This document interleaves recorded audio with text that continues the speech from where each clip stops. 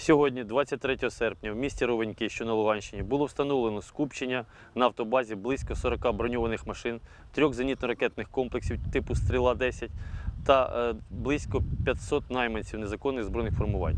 Ймовірно, це екіпажі до виявленої техніки. Не виключається, що зазначений особовий склад прибув як гуманітарний конвой. У результаті високоточного удару Збройних сил України по виявленому об'єкту в місті Ровеньки розвідкою підтверджено повне знищення бази терористів. Мирні мешканці при цьому не постраждали. В районі Тереза 16 серпня було виявлено вантажівки білого кольору, що підтверджено даними космічної розвідки.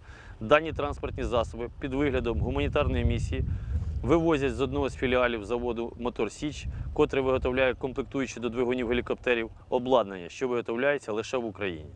Такі ж крадіжки відбуваються в інших містах, що нині підконтрольні ДНР. В місті Свердловськ з'явились точки з продажу тієї ж гуманітарки. Скажімо, пачка солі коштує не менше 10 гривень. А в Леніну вантажівки з тієї ж колони зупиняються біля моргів, де знаходяться загиблі офіцери російської армії.